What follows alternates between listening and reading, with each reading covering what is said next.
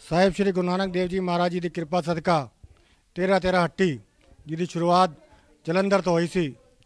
ਉਹਨਾਂ ਦੇ ਪ੍ਰਯਾਸ ਨਾਲ ਕਾਨਪੁਰ ਗੋਬਿੰਦ ਨਗਰ ਵਿੱਚ ਸਾਡੇ ਮਾਨਯੋਗ ਸਤਿਕਾਰਯੋਗ ਅਵਤਾਰ ਸਿੰਘ ਜੀ ਜਿਨ੍ਹਾਂ ਨੇ ਪ੍ਰਯਾਸ ਕੀਤਾ, ਉਹਨਾਂ ਨੇ ਪੂਰੀ ਟੀਮ ਗਠਿਤ ਕੀਤੀ, ਜੋ ਇੱਥੇ ਖਾਲਸਾ ਸਕੂਲ ਗੋਬਿੰਦ ਨਗਰ ਵਿਖੇ ਇਹ ਦੇਖ ਰਹੇ ਹੋ ਆਪ, ਇਹ ਹਾਲ, ਇਹਦੇ ਵਿੱਚ 13 13 ਹੱਟੀ ਦਾ ਸ਼ੁਭਾਰੰਭ ਹੋਇਆ।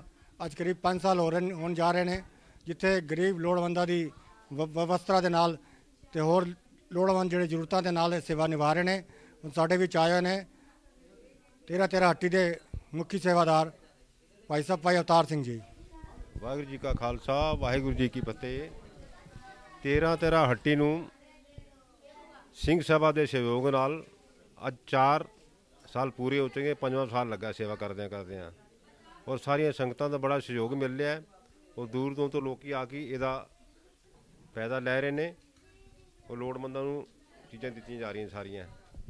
ਬਾਕੀ ਪਰਮਵੀਰ ਜੀ ਆਪ ਨੂੰ ਦੱਸਦੇ ਨੇ ਵਾਹਿਗੁਰੂ ਜੀ ਕਾ ਖਾਲਸਾ, ਵਾਹਿਗੁਰੂ ਜੀ ਕੀ ਫਤਿਹ।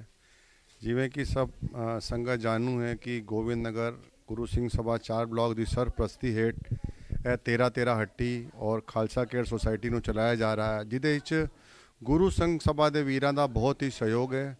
ਜਿਨ੍ਹਾਂ ਦੇ ਸਹਿਯੋਗ ਦੇ ਨਾਲ ਖਾਲਸਾ ਕੇਅਰ ਸੁਸਾਇਟੀ ਔਰ 13 13 ਹੱਟੀ ਚਲਾਈ ਜਾ ਰਹੀ ਹੈ, ਜਿੱਥੇ ਤੀ ਗਰੀਬਾਂ ਨੂੰ 13 13 ਰੁਪਏ 'ਚ ਕਪੜਾ ਦਿੱਤਾ ਜਾ ਰਿਹਾ, ਉੱਥੇ ਹੀ ਮੈਡੀਕਲ ਰਾਹੀਂ ਸਾਡੇ ਚਾਰ ਡਾਕਟਰਸ ਪੈਂਦੇ ਨੇ, ਉਹਨਾਂ ਨੂੰ ਨਿਸ਼ੁਲਕ ਔਰ ਕੁਝ ਜ਼ਰੂਰਤਮੰਦਾਂ ਨੂੰ ਇਲਾਜ ਦਿੱਤਾ ਜਾ ਰਿਹਾ ਵੇ ਔਰ ਉਹਦੇ ਵਿੱਚ ਸਾਡੀ ਫਿਜ਼ੀਓਥੈਰੇਪੀ ਔਰ ਮੈਡੀਕਲ ਸੈਂਟਰ ਅੱਜ ਦੂਰ ਦੂਰ ਤੋਂ ਲੋਕ ਲਾਹਾ ਲੈਣ ਆਉਂਦੇ ਨੇ। ਇੱਥੇ ਵੀ ਦੇਖੋ ਜੀ, ਚਾਰੋਂ ਪਾਸੇ ਕੱਪੜੇ ਲੱਗੇ ਹੋਏ ਨੇ, ਗਰਮ ਕੱਪੜੇ ਨਾਰਮਲ ਕੱਪੜੇ। ਅਤੇ ਦੇਖੋ ਜੀ, ਕੋਟ ਲੱਗੇ ਹੋਏ ਨੇ ਸਵੈਟਰਸ ਲੱਗੇ ਹੋਏ ਨੇ। ਇਹ ਸਭ 13 13 ਰੁਪਏ 'ਚ ਅਸੀਂ ਆਪਣੇ ਜ਼ਰੂਰਤਮੰਦਾਂ ਨੂੰ ਉਪਲਬਧ ਕਰਾਉਂਦੇ ਹਾਂ।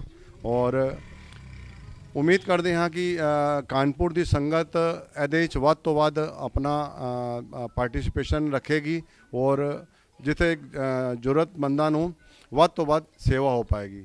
ਵਾਹਿਗੁਰੂ ਜੀ ਕਾ ਖਾਲਸਾ ਵਾਹਿਗੁਰੂ ਜੀ ਕੀ